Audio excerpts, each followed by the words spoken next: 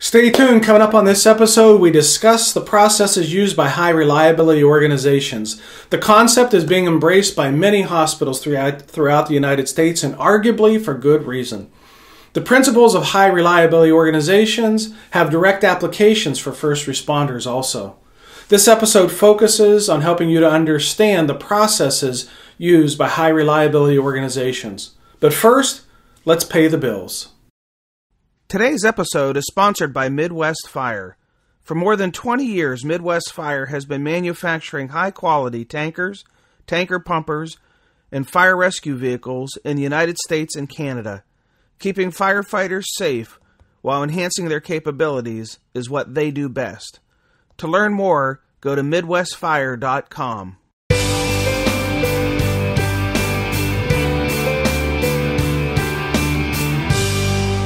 Hello and welcome to episode 276 of the Situation Awareness Matters show. I'm your host, Rich Gasaway. The purpose of this show is to help you to understand how to improve situational awareness and high risk decision making for individuals and teams who work in high stress, high consequence, time compressed environments with changing conditions. The SA Matters mission is simple. We want to help you see the bad things coming in time to prevent bad outcomes. I'm coming to you today from my office in St. Paul, Minnesota, having just returned from delivering two situational awareness programs for the Odessa, Texas Fire Department. This is the second visit to Odessa, and I'm really appreciative of their faith and confidence in my message and for inviting me back. Today's feature segment is brought to you by Sims-U-Share. Sims You Share is a simple and affordable way to help you develop and practice situational awareness skills. You can quickly build sims from your own photos to simulate almost any kind of incident, including active threat scenarios. And the new Sims-U-Share Command Training Center now lets you conduct multi company drills over the internet, so you can even run drills while your companies stay in station. Check them out at simsushare.com. All right, we're going to jump into today's feature segment where we talk about the processes used by high reliability organizations.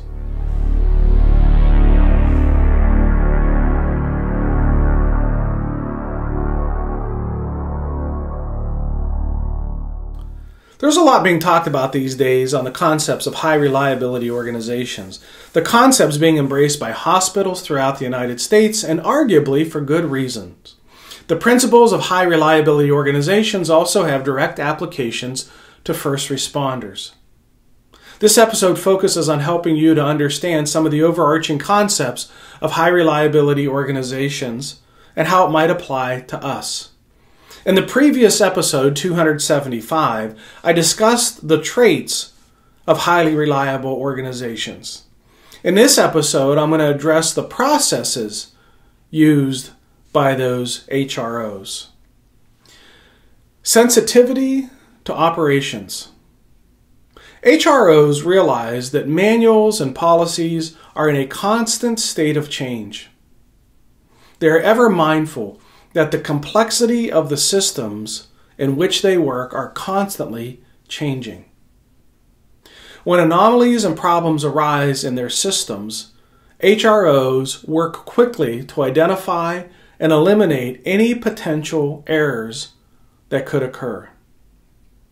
Maintaining situational awareness is important for staff at all levels because it is the best and perhaps the only way anomalies, potential errors, and actual errors can quickly be identified and addressed. Sensitivity to operations reduces the number of errors and allows errors to be quickly identified and fixed before their consequences become larger. HROs have a reluctance to simplify. HROs refuse to simplify procedures and operations to make things easier. They ignore the excuses and explanations offered for the difficulties and the problems they face. HROs understand and accept the fact that their work is complex and do not accept simplistic solutions for challenges confronting complex and adaptive systems. They understand their systems can fail in ways that have never happened before. And it is nearly impossible to identify all the ways in which their systems could fail in the future.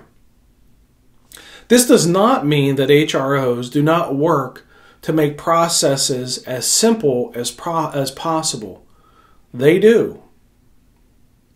What it does mean is many members are encouraged to recognize the range of things that might go wrong and not assume that failures and potential failures are the result of a single simple cause.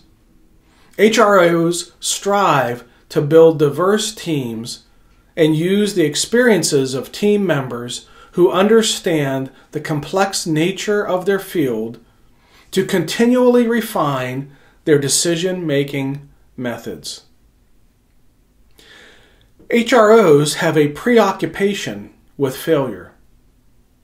HROs spend a lot of time focusing on predicting and eliminating catastrophes rather than reacting to them. This is one lesson that seems to be enormous value to public safety organizations. HROs constantly evaluate their performance as though they may have missed something that places employees, customers, citizens, or the environment at risk. Near miss events are viewed as opportunities to improve current systems by examining strengths, determining weaknesses, and devoting resources to improve and address them. Near misses are not viewed as proof that the system has enough checks in it to prevent a catastrophe. Such an approach serves as only to encourage complacency rather than reliability. Instead, near miss events are viewed as opportunities to learn and understand what went wrong in the early stages of the process that could be prevented in the future through improved processes. A deference to expertise. HROs develop and nurture a, a culture where leaders defer decision making to the person with the most knowledge relevant to the issues that they are confronting. The premise for this deference is logical. The most experienced member and the highest ranking member may not have access to the same information.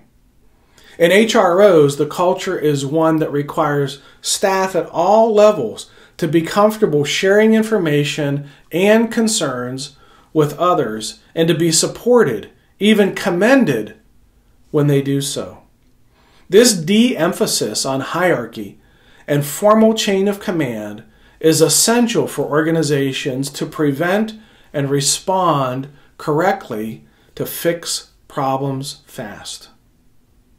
Resilience. HROs pay close attention to how quickly they are able to contain errors and improvise when difficulties do occur. The goal is for the systems to continue to function despite setbacks. HROs are not naive, however, ever, they assume that despite all the safeguards they have in place, the system can fail in unanticipated ways. Where HROs differ from many public safety organizations is they prepare their system failures for their system failures by training members to perform quick situational assessments, working effectively as a team that defers to expertise and practicing how they would respond when there is a system failure. Compare your department's processes to those used by HROs. Identify opportunities to make small incremental improvements that may bring you into alignment with those used by HROs. Developing and implementing the changes that create an HRO culture is not easy nor is it something that can be done by one person. It requires a commitment from across the organization and the will of the leaders throughout and the membership to embrace these processes. Here's some discussion questions for you. Compare the processes listed above with your department. Discuss how HRO principles could improve the safety of your members. Discuss how your department could start implementing HRO processes in your operation. Discuss opportunities and challenges that you would need to face to overcome to create a culture that embraces high reliability. I think Rich's Rich's ability to, to, to, connect with any crowd that's a that's a gift that he has, and, it, and, it's easily transferable. This is the second or third time that I've heard him speak. There's some teeth uh, to the information that he that he brings. It's been really good. Good mixes. He knows when to throw in a joke here and there to get you back involved. Some tools. Um, I'm a new lieutenant, so very, very interesting. And some of these things I can take back to the station and use with some of the new firefighters I have my, on my crew. Something to get you thinking about your job more, big picture type stuff. I've seen them before.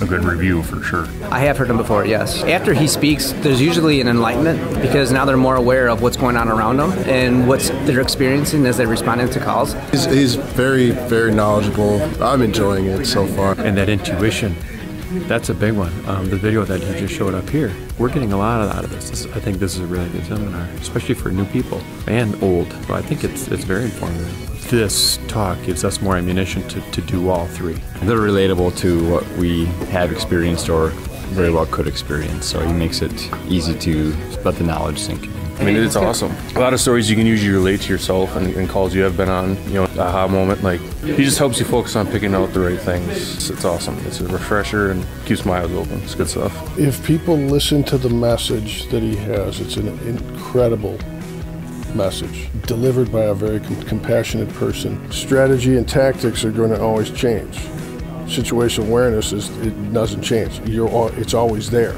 He's got some good stories to tell, and he's very thorough with his stories, and it's uh, interesting listening to him. Very clear speaker, and he, he talks um, on our level because he's been there, he's been in the trenches. I think he's doing well, and I'm looking forward to the second half. If you've been listening to the episodes over the last couple of months, you have heard me mention this is our fifth anniversary. I'm so excited about that. And I thought it'd be good to do a giveaway to celebrate that. But along the way, I learned that there are rules and laws that should be followed if you're going to do a giveaway properly. And I want to give some stuff away. But in fact, I can't call it a giveaway because that's not a legal term. I have to call it a sweepstakes. So we're going to have a sweepstakes eventually at some point here. Hang with me because I'm learning a lot about sweepstakes, including the rules and disclosures that I have to do and how to do it all legally. And of course, I want to do it legally, which unfortunately means there's going to be a delay and a process and rules and all the stuff I would have rather have avoided, but I can't. The good news is that the prize package continues to grow and is worth over $2,000 now. So it'll be a good sweepstakes when we get to where we can do it right. The Situation Awareness Matters show was launched in 2014 with a purpose to give a platform to those who've had near miss events and to share their stories. When I'm on the road delivering classes on situation awareness, I often ask attendees about their near miss events that they've had, and they share some amazing stories. Those stories motivated me to launch this podcast in the first place so those lessons could be shared with a bigger audience. You. The Situation Awareness Matters show, podcasted as SA Matters Radio, and our companion video program, SA Matters TV on YouTube, along with other audio and video content, have been downloaded over 800,000 times. I'm very thankful for your support, and I'm very honored to have this platform to share these amazing stories. If you like the show, please do me a solid favor subscribe. It's free and it's easy. For the audio version of the show, just search for SA Matters Radio on iTunes, Google Play, Stitcher, iHeartRadio. For the video version, subscribe to SA Matters TV on YouTube. And if you find the show valuable, I really appreciate it if you'd give it a rating and write a review. Your ratings and reviews help others to find the show. And more importantly, your feedback inspires me to want to work harder for you. Since 2007, Situation Awareness Matters instructors have helped more than 1,300 organizations and have trained over 80,000 individuals to improve high risk decision making. This has included first responders, industrial workers, military personnel, business leaders, medical professionals, utility workers, highway workers, public transportation operators, school bus drivers, aviation workers, oil refinery process operators, and more. If you work in a high risk, high consequence decision making environment, we're here to help improve your safety and your survival and to help you accomplish the most important mission of all. And that is to go home to the ones who love you. I'd like to take a moment to honor and thank the companies, organizations, agencies, and associations that have hosted uh, recent situational awareness matters training for their team members. The Safety Institute Conference, Syncrude Canada Oil Refinery, the National Volunteer Fire Council Summit, the National Fire Protection Association Conference, the Itasca County Emergency Communications Center, and the Odessa Fire Department. If you're interested in knowing where, where we're going to be upcoming, so you might be able to join us for a program, uh, here's the schedule. On July 11 and 12th, I'll be doing some consulting for an industrial facility in Wisconsin, just north of Madison. On July 15 and 16, at the Southeast Texas Regional Advisory Council EMS Committee training seminars in Houston, Texas. We're doing two of those, one on the north side of Tex- uh, Houston and one on the south side of Houston. July 24 and 25 at the United States Air Force Academy in Colorado Springs, Colorado. This is my third visit to the Air Force Academy, and I'm very appreciative for your faith and confidence in my message. July 26 at the North Metro Fire District in Broomfield, Colorado, my second visit there. July 31 at the Evans Fire Department in Evans, Colorado, my second visit there. August 8th and 9th, Fire Rescue International, Atlanta, Georgia. I've presented there for about the last 15 consecutive years. August 14th to 16th, the Lansing Fire Department, Michigan, first visit there. August 17th, the Ingham County Fire Chiefs Association, Michigan, also my first visit there.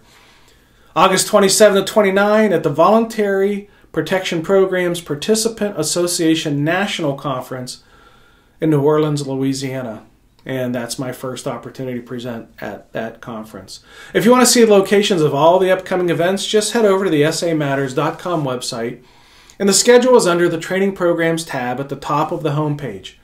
If you're interested in hosting a program, just click on the Contact Us tab on the top of the homepage, and I'll give you a call. We'll get something set up. It's really easy to do. If you want to become part of the SA Matters community of learners, there's several ways you can do that. Check the show notes for how to get connected by signing up for our monthly newsletter, subscribing to the radio podcast, subscribing to the SA Matters TV channel on YouTube, and how to follow us on the social media channels of Facebook, Twitter, LinkedIn, and Instagram. There we share ideas about how to improve situation awareness, how to make better decisions under stress, and how to improve the skills of critical thinking and resilient problem solving. Well, that's it. Episode 276 of the Situational Awareness Matters show is complete. Thank you to our platinum sponsor, Midwest Fire. Thank you to our feature segment sponsor, Sims-U-Share. And thank you to our associate sponsor, Chief Miller. Thank you to all the companies, agencies, and organizations that have hosted Situational Awareness Matters training programs. Thank you to all the organizations that have hosted the live stream program, where I come to your organization live via the internet to train your members. Thank you to the more than 3,000 students and graduates of the highly acclaimed Situational Awareness Matters Online Academy. The feedback I've received from Academy graduates is just amazing and humbling, and I thank you for that. Most importantly, though, thank you, the listeners and viewers of this show, for sharing some of your valuable time with me today. I really appreciate your support of the SA Matters mission. Be safe out there and may the peace of the Lord and strong situational awareness be with you always. You've been listening to the Situational Awareness Matters radio show with Dr. Richard B. Gasaway. If you are interested in learning more about situational awareness, human factors, and decision making under stress, visit samatters.com. If you are interested in booking Dr. Gasaway for an upcoming event, visit his personal website at richgasaway.com.